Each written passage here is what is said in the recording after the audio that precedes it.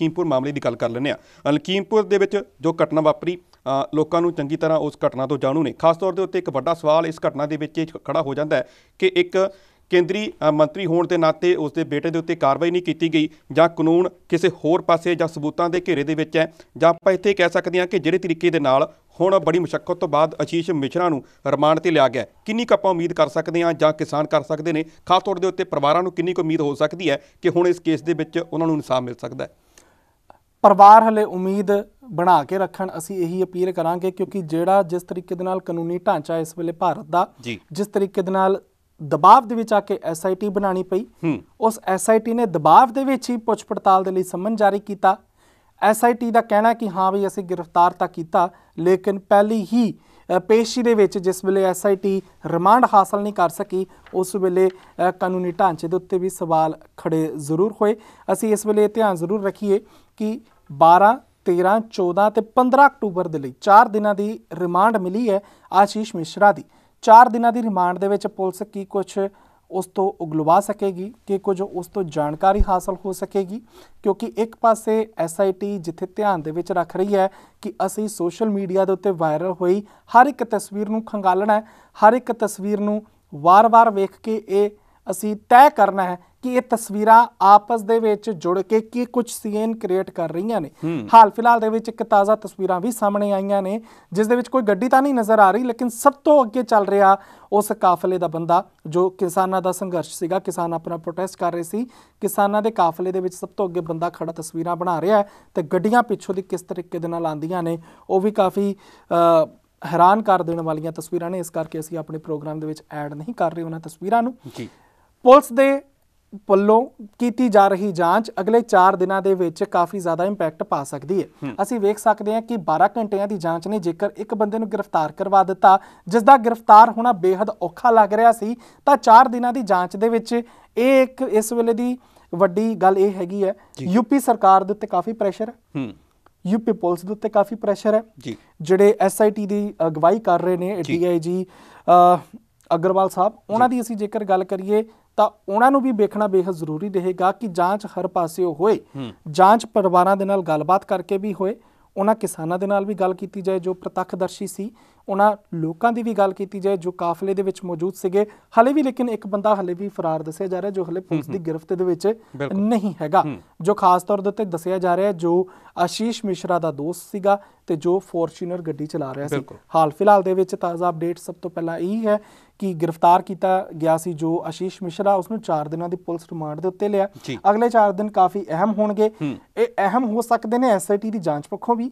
ਇਹ ਅਹਿਮ ਹੋ ਸਕਦੇ ਨੇ ਕਿ ਸਿਆਸੀ ਪੱਧਰ ਦੇ ਉੱਤੇ ਕੋਈ ਵੱਖਰੀ ਖੇਡ ਨਾ ਖੇਡੀ ਜਾਏ। ਕਿਸੇ ਤਰੀਕੇ ਦੀ ਸਿਆਸੀ ਦਖਲਅੰਦਾਜ਼ੀ ਇਸ ਐਸਆਈਟੀ ਦੀ ਜਾਂਚ ਦੇ ਵਿੱਚ ਨਾ ਹੋਏ। ਕਿਉਂਕਿ ਭਾਜਪਾ ਦਾ ਢੰਗ ਤਰੀਕਾ ਥੋੜਾ ਇਸ ਤਰੀਕੇ ਦੇ ਨਾਲ ਹੀ ਸੋਚਿਆ ਸਮਝਿਆ ਜਾਂਦਾ ਹੈ ਕਿ। ਹਾਂ ਹਰ ਇੱਕ ਜਾਂਚ ਦੇ ਵਿੱਚ ਦਖਲ ਦੇ ਕੇ ਭਾਵੇਂ ਸਰਕਾਰ ਪੱਖੋਂ ਦਖਲ ਦਿੱਤੀ ਜਾਏ ਭਾਵੇਂ ਉਹ ਕਾਨੂੰਨੀ ਚਾਰਾਜ਼ੋਹੀ ਦੇ ਨਾਲ ਜਾਂ ਕਾਨੂੰਨੀ ਦਖਲ ਕੋਈ ਅਜਿਹੀ ਦਿੱਤੀ ਜਾਏ ਜਿਸ ਦੇ ਵਿੱਚ ਆਪਣੇ ਆਪ ਨੂੰ ਬਚਾਉਣ ਦੇ ਲਈ ਕਿਸ ਹੱਦ ਤੱਕ ਵੀ ਉਤਰ ਸਕਦੀ ਹੈ ਭਾਜਪਾ।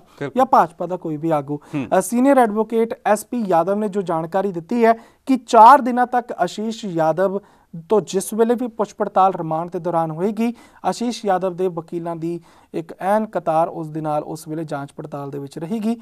ਉਸ ਦਾ ਆਸ਼ੀਸ਼ ਯਾਦਵ ਦਾ ਮਾਫ ਕਰਨਾ ਆਸ਼ੀਸ਼ ਮਿਸ਼ਰਾ ਦਾ ਖਾਸ ਤੌਰ ਦੇ ਉੱਤੇ ਇੱਕ ਮੈਡੀਕਲ ਚੈੱਕਅਪ ਵੀ ਕਰਾ ਦਿੱਤਾ ਗਿਆ ਤਾਂ ਕਿ 4 ਦਿਨਾਂ ਬਾਅਦ ਮੁੜ ਤੋਂ ਜਿਸ ਵੇਲੇ ਨਿਆਇਕ ਹਿਰਾਸਤ ਦੇ ਵਿੱਚ ਜਾਏਗਾ। ਜੇਕਰ ਉਸ ਦੀ ਸਿਹਤ ਦੇ ਵਿੱਚ ਕਿਸੇ ਤਰੀਕੇ ਦੀ ਵੀ ਗੜਬੜੀ ਵੇਖੀ ਜਾਂਦੀ ਹੈ ਉਸ ਦੇ ਨਾਲ ਰਿਮਾਂਡ ਦੇ ਵਿੱਚ ਕਿਸੇ ਤਰੀਕੇ ਦੀ ਬਦਤਮੀਜ਼ੀ ਜਾਂ ਪੁਲਿਸ ਦੇ ਵੱਲੋਂ ਉਸ ਦੇ ਉੱਤੇ ਕੋਈ ਤਸ਼ੱਦਦ ਕੀਤੀ ਜਾਂਦੀ ਹੈ ਤਾਂ ਉਸ ਦੀ ਜਾਣਕਾਰੀ ਅਦਾਲਤ ਦੇ ਵਿੱਚ ਦਿੱਤੀ ਜਾ ਸਕੇ।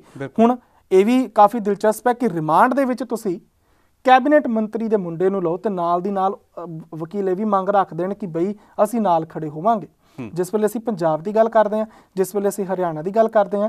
ਜਿਸ ਵੇਲੇ ਯੂਏਪੀਏ ਐਕਟ ਦੇ ਅਧੀਨ ਨੌਜਵਾਨਾਂ ਨੂੰ ਚੱਕ ਕੇ ਰਿਮਾਂਡ ਦੇ ਉੱਤੇ ਲਿਆ ਜਾਂਦਾ ਹੈ ਤਾਂ ਕਿ ਉਹਨਾਂ ਪਿੰਡਾਂ ਦੇ ਨੌਜਵਾਨਾਂ ਦੇ ਨਾਲ ਕੋਈ ਉਹਨਾਂ ਦਾ ਵਕੀਲ ਖੜਾ ਹੁੰਦਾ ਰਿਮਾਂਡ ਦੇ ਸਮੇਂ।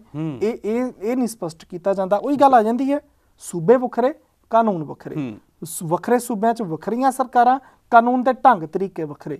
ਤੇ ਇਹ ਇਹ ਚੀਜ਼ ਹਲੇ ਥੋੜੀ ਗਲਤ ਹੈ। ਬਿਲਕੁਲ ਤੇ ਇੱਥੇ ਜੇਕਰ ਆਪਾਂ ਲੋਕਾਂ ਦੇ ਗੁੱਸੇ ਦੀ ਗੱਲ ਕਰ ਲਈਏ ਜਾਇਜ਼ ਤਾਂ ਹੁੰਦਾ ਹੀ ਹੈ। ਦੂਜੇ ਪਾਸੇ ਜਦੋਂ ਕਾਰਵਾਈ ਸਮੇਂ ਦੇ ਉੱਤੇ ਨਹੀਂ ਹੁੰਦੀ ਜਾਂ ਕਾਨੂੰਨ ਇਹ ਕਹਿ ਸਕਦੇ ਆ ਕਿ ਸਰਕਾਰ ਦੇ ਹੱਥਾਂ ਦੇ ਵਿੱਚ ਆ ਜਾਂ ਭਾਜਪਾ ਦੇ ਅੱਖ- ਹੱਥਾਂ ਦੇ ਵਿੱਚ ਜੇਕਰ ਆਪਾਂ ਯੂਪੀ ਦੀ ਗੱਲ ਕਰ ਲਈਏ। ਤਾਂ ਲੋਕਾਂ ਦਾ ਗੁੱਸਾ ਜਾਇਜ਼ ਹੈ। ਉਸ ਤੋਂ ਬਾਅਦ ਕਿਸ ਤਰੀਕੇ ਦੇ ਨਾਲ ਆਪਾਂ ਇਸ ਗੁੱਸੇ ਨੂੰ ਹੋਰ ਆਪਾਂ ਅੱਗੇ ਦੇਖ ਸਕਦੇ ਹਾਂ? ਜਿਸ ਤਰੀਕੇ ਦੇ ਨਾਲ ਹੁਣ ਆਪਾਂ ਦੇਖ ਸਕਦੇ ਹਾਂ ਕਿ ਵਿਰੋਧੀਆਂ ਜਾਂ ਆਪਾਂ ਭਾਜਪਾ ਦੇ ਵੱਲੋਂ ਖਾਸ ਤੌਰ 'ਤੇ ਇਲਜ਼ਾਮ ਲਾਏ ਜਾਂਦੇ ਨੇ ਕਿ ਇਹਨਾਂ ਦੇ ਵੱਲੋਂ ਸਾਨੂੰ ਨਜਾਇਜ਼ ਘੇਰਿਆ ਜਾਂਦਾ ਸਾਡਾ ਵਿਰੋਧ ਕੀਤਾ ਜਾਂਦਾ ਜਦੋਂ ਕਿ ਜਦੋਂ ਕਾਰਵਾਈਆਂ ਨਹੀਂ ਹੁੰਦੀਆਂ, ਇਸ ਪੱਧਰ ਤੱਕ ਜਿਸ ਤਰੀਕੇ ਦੇ ਨਾਲ ਹੁਣ ਯੂਪੀ ਦੇ ਵਿੱਚ ਕਾਰਵਾਈ ਲਗਾਤਾਰ ਢਿੱਲੀ ਚੱਲੀ ਹੈ ਕਾਨੂੰਨ ਬੇਸ਼ੱਕ ਉੱਥੇ ਲਗਾਤਾਰ ਇਹ ਗੱਲ ਉੱਥੇ ਕਹਿੰਦਾ ਰਿਹਾ ਕਿ ਸਾਡੇ ਕੋਲ ਸਬੂਤਾਂ ਦੀ ਘਾਟ ਹੈ, ਅਸੀਂ ਹਰ ਇੱਕ ਪਹਿਲੂ ਦੇ ਉੱਤੇ ਜਾਂਚ ਕਰਨੀ ਹੈ।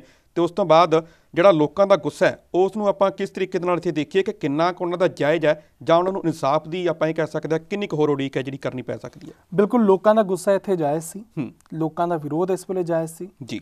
ਆਮ ਲੋਕ ਜਿਸ ਵੇਲੇ ਕਿਸਾਨ ਜਥੇਬੰਦੀਆਂ ਦੇ ਨਾਲ ਅਜਿਹੇ ਮੌਕੇ ਆਪਣੇ ਵੱਲੋਂ ਜੋ ਕੁਝ ਹੋਇਆ ਉਸ ਦੀ ਨਿੰਦਾ ਕਰਦੇ ਨੇ ਪਰਿਵਾਰਾਂ ਦੇ ਨਾਲ ਉਹਨਾਂ ਦਾ ਦੁੱਖ ਸਾਂਝਾ ਕਰਦੇ ਨੇ। ਕਿਸਾਨ ਜਥੇਬੰਦੀਆਂ ਦੀ ਅਗਵਾਈ ਦੇ ਵਿੱਚ ਹੀ ਆਮ ਲੋਕ ਵੀ ਆਪਣੇ ਆਪ ਨੂੰ ਮਹਿਸੂਸ ਕਰਦੇ ਨੇ। ਇਸੇ ਕਰਕੇ ਦਰਸ਼ਕਾਂ ਨੂੰ ਦੱਸ ਦਈਏ ਕਿ 18 18 ਅਕਤੂਬਰ ਨੂੰ ਲੈ ਕੇ ਇੱਕ ਵੱਡੀ ਰੈਲੀ ਅੰਦੋਲਨ ਦਾ ਪ੍ਰਬੰਧ ਕੀਤਾ ਗਿਆ ਹੈ ਜੋ ਤਕਰੀਬਨ ਸਵੇਰੇ ਅ, 10 ਵਜੇ ਸ਼ੁਰੂ ਹੋਏਗੀ ਸ਼ਾਮ 4 ਵਜੇ ਤੱਕ ਚੱਲੇਗੀ। ਇਹ ਲਖੀਮਪੁਰ ਖੀਰੀ ਦੇ ਵਿੱਚ ਕਿਸਾਨ ਸੰਯੁਕਤ ਕਿਸਾਨ ਮੋਰਚੇ ਦੇ ਵੱਲੋਂ ਫੈਸਲਾ ਲਿਆ ਗਿਆ ਸੀ। ਅੱਜ ਦਾ ਦਿਨ ਜਿਹੜਾ 12 ਅਕਤੂਬਰ ਦਾ ਦਿਨ ਸੀ ਇੱਥੇ ਵੀ ਅ, ਖਾਸ ਇੱਕ ਸਮਾਗਮ ਦਾ ਪ੍ਰਬੰਧ ਕੀਤਾ ਗਿਆ। ਭੋਗ ਸਮਾਗਮ ਦਾ ਜਿਸ ਜਿੱਥੇ ਸਾਰੇ ਸ਼ਹੀਦਾਂ ਨੂੰ ਸ਼ਰਧਾਂਜਲੀ ਦਿੱਤੀ ਜਾ ਰਹੀ ਹੈ। 12 ਅਕਤੂਬਰ ਤੋਂ ਲੈ ਕੇ 24 ਅਕਤੂਬਰ ਤੱਕ ਕਿਸਾਨ ਕਲਸ਼ ਯਾਤਰਾ ਕੱਢਣਗੇ। ਉਸ ਦੇ ਵਿੱਚ ਵੀ ਅਕਾਲ ਚੈਨਲ ਤੁਹਾਨੂੰ ਨਿਰੰਤਰ ਅਪਡੇਟ ਦਿੰਦਾ ਰਹੇਗਾ।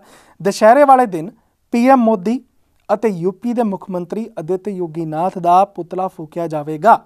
26 ਅਕਤੂਬਰ ਨੂੰ ਲਖਨਊ ਦੇ ਵਿੱਚ ਮਹਾਪੰਚਾਇਤ ਦਾ ਸੱਦਾ ਵੀ ਸੰਯੁਕਤ ਕਿਸਾਨ ਮੋਰਚੇ ਦੇ ਵੱਲੋਂ ਦਿੱਤਾ ਹੋਇਆ।